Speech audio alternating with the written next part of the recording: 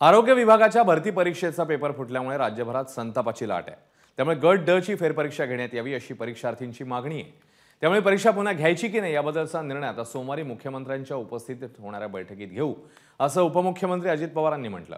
तसंच आरोग्य भरती घोळ्याप्रकरणी दोषींना कठोर शिक्षा करू अशी ग्वाही देखील अजित पवारांनी दिली आहे.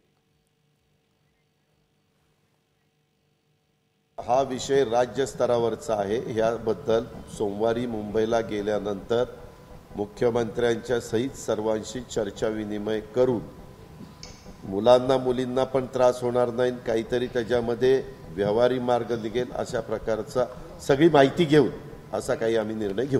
हे मात्र घडलंय.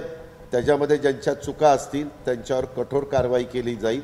एवढी कडक कारवाई केली जाईल की परत कुठल्या भरतीच्या संदर्भामध्ये कुणाचं चुकीचं वागायचं धाडस देखील होणार नाही याबद्दलची खबरदारी महाविकास आघाडीचं सरकार घेईल. दरम्यान आरोग्य विभागाचा एकतीस ऑक्टोबरला झालेला गट ड चा पेपर फुटलेला. त्यानंतर आता चोवीस ऑक्टोबरला झालेला गट क परीक्षेचाही पेपर फुटल्याची तक्रार विद्यार्थ्यांनी दाखल केली आहे. पुणे सायबर सेलकडे तक्रार करण्यात आली आहे. ठाण्यातल्या काही विद्यार्थ्यांकडे हा पेपर बऱ्याच आधी होता असा दावा तक्रारकर्त्या विद्यार्थ्यांनी केलेला आहे.